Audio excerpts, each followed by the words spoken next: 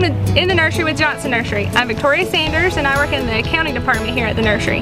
Today we're going to be talking about Cuphea Millionaire, also known as firecracker plant. I really like firecracker plant because it does really well in the humid heat of the summer.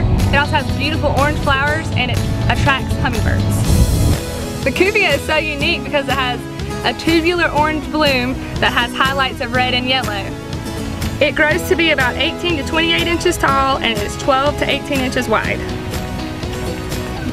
The firecracker plant has a mounding habit and it blooms continuously from spring to frost. And the coolest thing is that it attracts so many hummingbirds.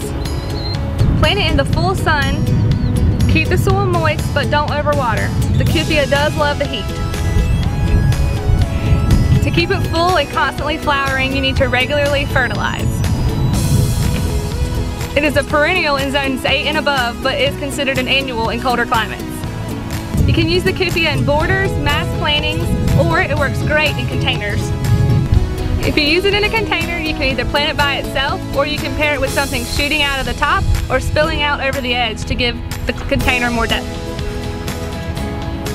Thanks for stopping by in the nursery with Johnson Nursery. I'm Victoria Sanders. Have a great day.